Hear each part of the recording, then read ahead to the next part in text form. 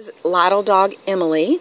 Emmalee is a gray Wawa, and that is a little greyhound chihuahua. She's seven pounds. She has retained baby teeth, so the vet does think that she's under a year old.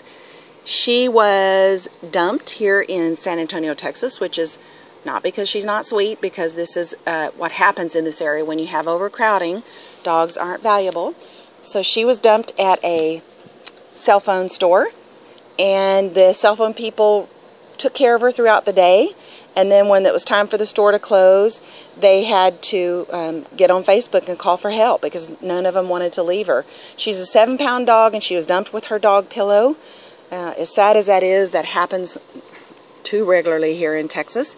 So we're looking for her forever home. We want somebody who um, is going to take loving care of her for the rest of her life. She's beautiful, very sweet, good in a crate, good with other dogs, does her business outside. We'd like her to go with older children or no children.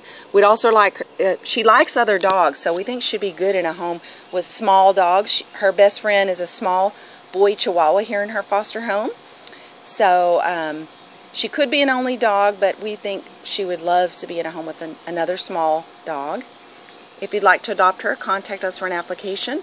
This is sweet little girl, Emmalee. Yes, you're sweet. Look at her. Look at that little face. This is a face of an angel. Yes, it is. You're super sweet.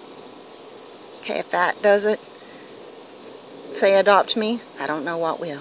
This is little girl, Emmalee.